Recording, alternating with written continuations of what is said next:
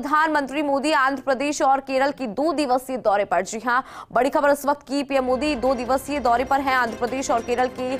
आपको बता दें कि पला समुद्र में राष्ट्रीय सीमा शुल्क अप्रत्यक्ष कर और नाकोटिक्स अकादमी का करेंगे उद्घाटन। इसके बाद केरल की कोची में उनका रोड शो है।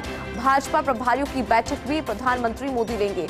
दोनों राज्यों को करीब चार हज़ार करोड़ रुपए की सौगात आज देंगे प्रधानमंत्री नरेंद्र मोदी। प्रधानमंत्री नरेंद्र मोदी का मिशन दक्षिण। पीएम मोदी आंध्र प्रदेश और केरल की दो दिवसीय दौरे पर हैं। आंध्र प्रदेश और केरल के दौरे पर है दो दिवसीय दौरे पर। पला समुद्राय में राष्ट्रीय सीमा शुल्क अप्रत्यक्ष कर नार्कोटिक्स अकादमी का उद्घाटन और उसके बाद केरल की कोची में रोड शो प्रधानमंत्री नरेंद्र मोदी का।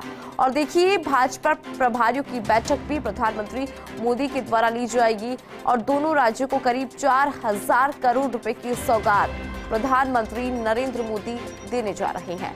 तो कुल मिलाकर प्रधानमंत्री नरेंद्र मोदी मिशन दक्षिण पर आंध्र प्रदेश और केरल के दो दिवसीय दौरे पर। पला समुद्राय में राष्ट्रीय सीमा शुल्क का प्रत्यक्ष करो नार्कोटिक्स अकादमी का उद्घाटन आज प्रधानमंत्री नरेंद्र मोदी के द्वारा किया जाएगा। इसके बाद केरल के कोची में वो जाएँगे। केरल के कोची में प्रधानमंत्री नरेंद्र मोदी का रोड शो है।